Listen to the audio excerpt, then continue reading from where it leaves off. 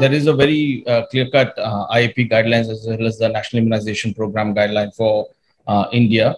The vaccines, uh, th- there's a, a, common set of vaccines which are recommended by people, and some of these, if I can start from the first year and just quickly go through some of the vaccines, they may vary a little bit from one place to the other uh, as to what time they're given. Some of them give few at 12 months, some of them change them at 15 months. Uh, but roughly, if you go through uh, all the vaccines, uh, round about uh, 12, some of these are new vaccines which start uh, after one year. Some of them are actually continuation vaccines, which you might have started even before the first year, and they're actually booster doses which you need to carry on later on in life. so if I can just sort of quickly scroll through the vaccines at 12 months, um, uh, you would give the hepatitis A vaccine. Uh, some of them also give the pneumococcal vaccine at the same time, around about the 12 month period. Um, there are optional vaccines such as cholera and Japanese encephalitis. Uh, these generally are not used uh, regularly in most places, but uh, Japanese encephalitis, which is sort of endemic in certain areas, they, they, they do tend to use that vaccine uh, in some parts of the country. But the regular ones at 12 months would be the hepatitis A, uh, or the pneumococcal vaccine, which is a continuation vaccine. Uh, at 15 months, uh, normally would give the MMR vaccine and the chickenpox vaccine.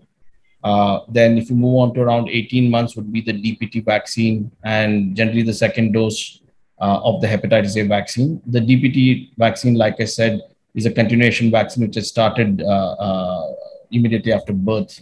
in the first six to eight weeks after birth, the vaccine would have started. And this is a continuation vaccine of that.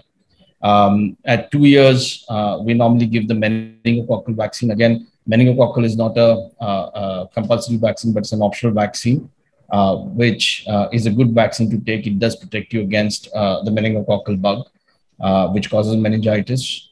Uh, but it's an optional vaccine mainly because the incidence of the condition is not very high in India, but it still gives you good protection. So it is advisable to take that vaccine.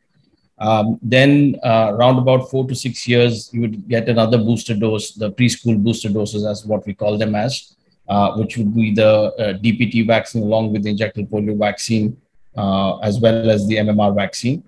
Um, and then round about nine years uh, onwards, uh, we give another booster dose of the Tdap or the DPT booster.